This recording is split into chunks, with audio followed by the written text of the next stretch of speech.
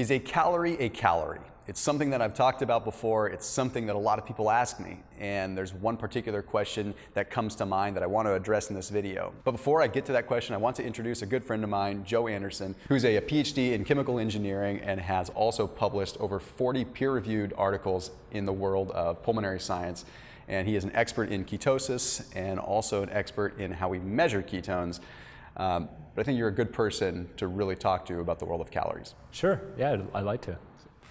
So the question that I want to bring to mind is that of, is a calorie a calorie? And what someone brought up to me was, if someone were to increase their calories, but be on a ketogenic diet, would they still lose as much weight as someone that was just on a calorie restrictive diet? So in other words, if you're eating the right kind of foods, can you get away with eating more calories? Does calories in versus calories out really matter? And I want to turn it to you just briefly, just kind of a big picture on this, on, on, what your take is on that. And then I've got some ideas that I want to bounce off you too. Yeah, that's great. Uh, and I think kind of the short of it is calories in, calories out do matter. But the nuance piece is it depends on what calories you're putting in, right? Uh, if you put in calories like sugar and you have less sugar calories than you're, than you're burning, then that deficit, so the difference between how much you're bringing in and how much you need, is going to be subsidized by your stored body fat, right? The problem with that is how long can you do that for? And it may be for a month, it may be for a couple months, but you're eventually going to burn out. And that's why those calorie restriction diets are very difficult. So what you really want to do is have good calories coming in. And I know a lot of people will go on a diet, and the first thing people will say is eat healthy foods. And a lot of times, that, the reason that works is you're cutting out all those processed junk foods. So once again, the type of calorie is important. If you can get rid of foods that cause your body to have dysfunction, and it may be hormonal dysfunction, it may be processing dysfunction, and replace those with good calories, that's a step in the right direction. Then the second piece, along with that, once again, the nuance piece is if you're on a high fat, low sugar diet, uh, one of the nice pieces with that is it allows you to regulate how much you want to bring in, right? It satiates your appetite. So you may not overeat with a high fat, very low sugar diet, and that's going to, once again, kind of balance out your calories in, calories out.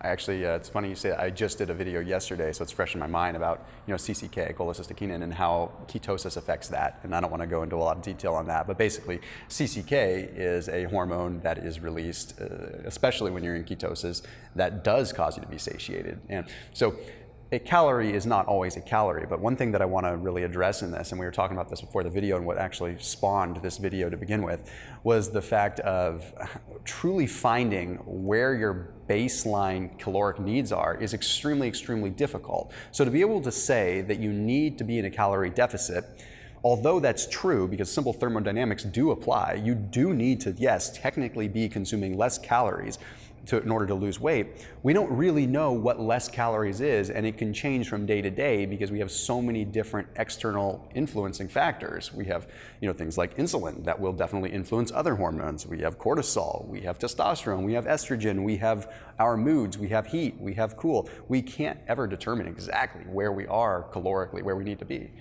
Right, it's an average measurement, and it, it's measured like you said, it's probably varying every day, and it depends on the condition. So when you do one of those measurements, it's it's a measurement that's taken over about 30 minutes in a resting position in a bed.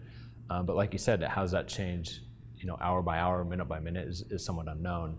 So there is an individualized piece of that that's certainly going to change. The other piece that I want to go back to is this calories in, calories out, and the specific types of calories. You also have to remember to add to that list is you have different types of fat, right? You have the white adipose tissue, you have the brown adipose tissue. So your brown adipose tissue can be kind of the, the use of fat in the brown adipose tissue can be separate from energy generation, meaning it's not creating energy for your body to use, it's just creating heat. So if you have a lot of that tissue and it's just simply creating heat, burning up calories, how does that affect your basal metabolic rate? That is a tremendous point, and I'm going to back up to make sure that that's explained well because that's extremely, extremely good. And that's, yeah, what he mentions about brown fat and, and, white fat. You have two different kinds of fat in your body, in case you didn't know. Brown fat is there just to essentially keep you warm.